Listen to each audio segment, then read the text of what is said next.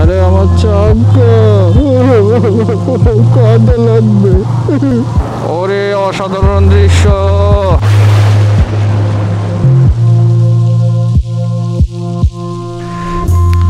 তো বন্ধুরা, ছোট দানবকে দেখলেন, এখন যাওয়ার পালা।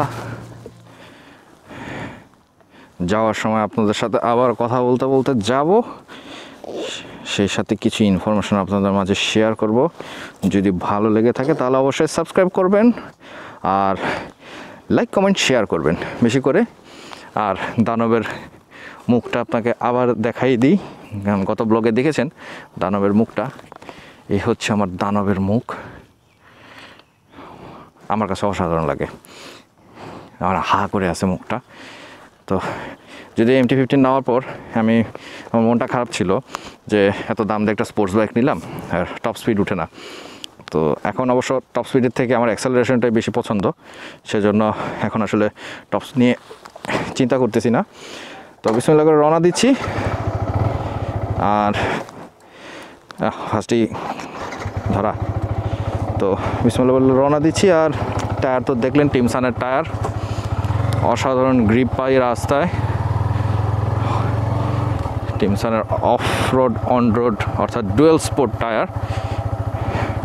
এমটির ক্ষেত্রে এসে টায়ারটার মনে পারফরমেন্স আরও বেড়ে গেছে। যেহেতু এমটির টর্ক একটু বেশি, যার ফলে এই টায়ারে এমটিতে পারফরমেন্স ড্রপ হয় না। মাইলেজও তেমন ড্রপ হয় না। মোটামুটি মাইলেজ ভালোই পাচ্ছি। তো আপনাদের মাঝে ছোটো ছোটো, ছোটোখাটো একটা রিভিউ দিয়ে দিলাম। আসলে অফিসিয়াল রিভিউ আমি এটাতে দিব না, কারণ অফিসিয়ালি আমাকে কেউ পে করতেছে না এটা রিভিউ দেওয়ার জন্য। যার ফলে আমি আমার মন মতো আপনাদের মাঝে ইনফরমেশনগুলো শেয়ার করব।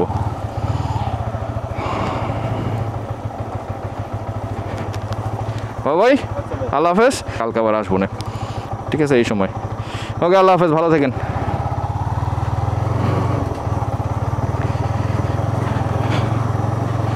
তো যাত্রা শুরু।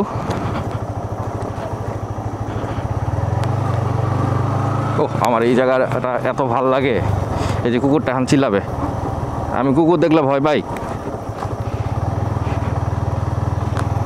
ঝিঝি পোকা ডাকতেছে। আপনারা হয়তো মাইকে শুনতে পাচ্ছেন না। আমি বেশ ভালোভাবে শুনতে পাচ্ছি। হয়তো ইঞ্জিনের সাউন্ডে ঝিঝি পোকার ডাকটা মাফিং হয়ে গেছে। উড়ি কি সুন্দর জায়গা। থেকে যেতে ইচ্ছা করতেছে, কিন্তু এখানে একটা সমস্যা আছে। এখানে নাকি গত রাতে মাইকিং করে অ্যানাউন্স করা হয়েছে, এখানে ডাকাত আসে। মানে অলরেডি ডাকাত দল নাকি এলাকায় ঢুকে গিয়েছে। তো এই নিয়ে আমি যেখানে আছি, সেখানে ওনারা একটু টেনশনে আছে, আমিও একটু টেনশনে আছি। তো এখন বাজে হচ্ছে কটা বাজে? একটু ঘড়িটা দেখি নিই। নয়টা দশ। আমার ঢাকা যাওয়ার টার্গেট হচ্ছে এগারোটা দশ। দেখি এগারোটা দশে পৌঁছাই নাকি? আর আগে পিছে কীরকম সময় লাগে। কারণ এখানে আসতে আসতে একটা আইডিয়া হয়ে গেছে যে এখানে আসতে অলমোস্ট টু আওয়ার্সের মতো লাগে। ব্লুটুথটা অন করে নিই ফোন টোন আসলে রিসিভ করতে সুবিধা হবে। তো আমার ব্লুটুথটা ভালো সাপোর্ট দিচ্ছে। তো চিন্তা করতেছি একটি ইন্টারকম কমিউনিকেটর নিয়ে নেব। তাহলে আমার ব্লুটুথ এবং ওই ওটা দুইটাই কাজ করবে। আমার জন্য সুবিধা হবে। যদি গ্রুপ ট্যুরিংয়ে কখনো বের হই, তাহলে আমাকে ভালো সাপোর্ট দিবে সেটা। এই স্পিড ব্রেকারটার কথা মনে থাকে না কখনোই।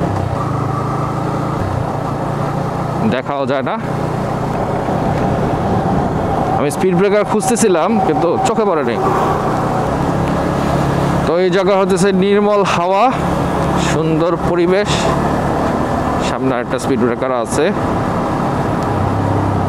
আগেই স্লো করে বসে থাকে। রাস্তাটা সুন্দর করে করে দিয়েছে। মনে করার জায়গা আছে, পুরো রাস্তাটা করে ফেলছে। আচ্ছা এটার ভিডিও আরেকদিন করব। যেহেতু চলে এসেছি।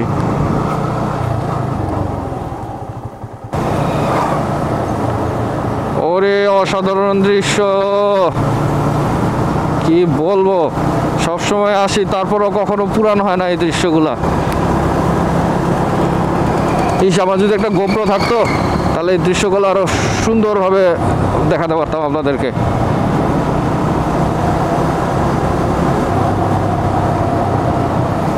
অবশ্য গোপ্র থাকলে লাভ হতো না, কারণ আমি আসলে দৌড়ের উপরে থাকি সবসময়। আসি দৌড়ের উপরে, যাই দৌড়ের উপরে। মাঝখান দিয়ে এই যে ভিউগুলো এটাই হতেছে আমার এন্টারটেনমেন্ট এই গ্রামের রাস্তায় গরু, ছাগল, বোকা মানুষ, এগুলো থাকে। এগুলো থেকে একটু সাবধানে থাকবেন। কারণ কখন কীভাবে যে দৌড় দিবে আপনার টেরও পাবেন না।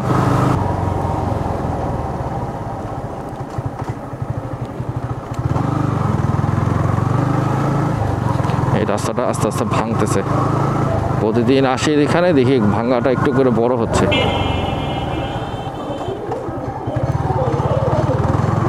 সাথে সাথে ট্রিটমেন্ট করলে কিন্তু রাস্তাটা এত ভাঙে না। যেমন যেখানে একটা গর্ত হয়েছে। গর্তটার সাথে সাথে ট্রিটমেন্ট করে দিলে এটা আর বড়ো হবে না। কিন্তু যেভাবে রেখে দেওয়ার ফলে আস্তে আস্তে বড় হতে থাকে। খরচ বাড়ে। এই যে এখানে আরেকটা ছোটো গর্ত, এটা কিন্তু ছিল না। এটা আস্তে আস্তে বড় হচ্ছে। এগুলো আসলে ছোটোখাটো গর্তগুলো রিপেয়ার করে দেওয়া উচিত।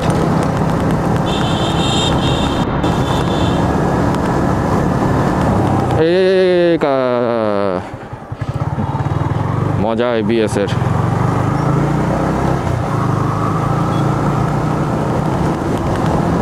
আসলে একটা ট্যুরে থাকলে যখন ব্লগ করি, আমি জানি না ব্লগটা কি হবে, কোথায় শুরু হবে, কোথায় শেষ হবে। মনে হয় যে পুরোটা আপনাদের সামনে তুলে ধরি, কারণ পুরো জার্নিটাই আমি উপভোগ করতেছি। কারণ আপনাদের কতটুকু ভালো লাগবে সেটা তার আমি বলতে পারতেছি না। তারপর আবার লিমিটেশন হচ্ছে আমার ক্যামেরার ব্যাটারি প্লাস মেমোরি কার্ড আরও আছে সমস্যা আছে এডিটিংয়ের সমস্যা। এডিটিংয়ে তো আমাকে থেকে বারো থেকে চোদ্দ ঘণ্টা টাইম দেওয়া লাগে সেই সাথে আপলোড করতে আরও মনে করেন এক দুই ঘণ্টা। সেই সাথে tagging title creation thumbnail creation এগুলোতে বেশ ভালো সময় চলে যায়। আসলে একটা ভিডিওর পিছনে অনেক পরিশ্রম করতে হয়। আহ, তো এই পরিশ্রমের মূল্যায়ন আপনারা যদি সাবস্ক্রাইব না করেন সেক্ষেত্রে আহ, মূল্যায়নটা আসলে আমি পাই না। হতে পারে আমার কোয়ালিটি খারাপ, তো খারাপ কোয়ালিটি হলে অবশ্যই আপনারা আমাকে জানাবেন যে আমি কীভাবে আমার কোয়ালিটি ইমপ্রুভ করতে পারি। যেহেতু এই ব্লগিংটা আমার আসলে আর্নিংয়ের কোনো সোর্স না। আমি আর্নিংয়ের জন্য আসলে ব্লগিং করছি না। জাস্ট আমার নিজের প্যাশন থেকে আসলে ব্লগিংটা শুরু করেছি। এখন যেহেতু এই কাজটা শুরু হওয়ার পরই আসলে ব্লগিংয়ে আমার ইন্টারেস্ট আসছে, কারণ আগে আমি কখনো হাইওয়েতে বাইক রাইড করিনি। আচ্ছা এখানে আমি কথাটা একটু বন্ধ রাখি। এখানে আপনারা দৃশ্য উপভোগ করুন। দেখুন। এখানে হাওয়ার মতো একটা জায়গা। যদিও বন্যায় মোটামুটি পানি ফুলে ফেপে উঠে গেছে। শীতে আপনার আগের ব্লগে হয়তো দেখছেন এই জায়গাটা তেমন ভালো ছিল না, কিন্তু এখন দেখেন পানি উঠে। রাস্তা কিছুটা অংশ সাইডগুলো আসলে রাস্তা ডুবে গিয়েছে। আর পানিতে পুরা জায়গা একদম থই থই। ওইসব ওইসব বাড়িঘরের মানুষজনগুলোর অবস্থা খুব খারাপ, বুঝতে পারছি। পানি উঠে গেছে। আমাদের দেশে এক সমস্যা, বন্যা। বন্যাটা খুবই মানে ভয়ঙ্কর রূপ ধারণ করে দেশের অর্থনীতি এবং কৃষি কার- কৃষি খাতের বিশেষ করে কৃষি, যারা কৃষিজীবী, তাদের অনেক অনেক অনেক বেশি ক্ষতি হয়ে যায়। কারণ এই সময়টুকুতে ওনারা কোনো ফসল করতে পারে না। তবে মৎস্যজীবীরা যারা, তারা হয়তো এখান থেকে কিছুটা লাভবান হতে পারেন। কিন্তু কৃষিজীবী যারা, তাদের জন্য অনেক ক্ষতির কারণ হয়ে দাঁড়ায় এই বন্যা, অতিবৃষ্টি, যেহেতু মাঠঘাট, ক্ষেত সব পানিতে ডুবে যায়। আর যারা বারো মাসেই ধান করেন, যদি টাইমিংটা ঠিক না হয়, কারণ বন্যা তো আসলে টাইম বলে বলে কয়ে আসে না। সেক্ষেত্রে বড় একটা লোকসানের মুখ দেখতে হয় কৃষক, কৃষিজীবী যারা আছেন, তারা ভালো তো এখানে রাস্তার কাজ চলছে, দেখা যাচ্ছে, যাক ভালো, হয়তো ঈদের আগে রাস্তাটা সুন্দর হবে। এই যে রাস্তার কাজ চলছে সেই জায়গাটা আসলে অনেক ভাঙা ছিল, যাক ভালো হয়েছে খুব। রাস্তাটা হয়ে গেলে নেক্সট টাইম এসে খুব মজা পাবো। আরে আমার চক কাদা লাগবে। কত কাদা লেগে গেছে আমার ছোট্ট দানবের গায়ে।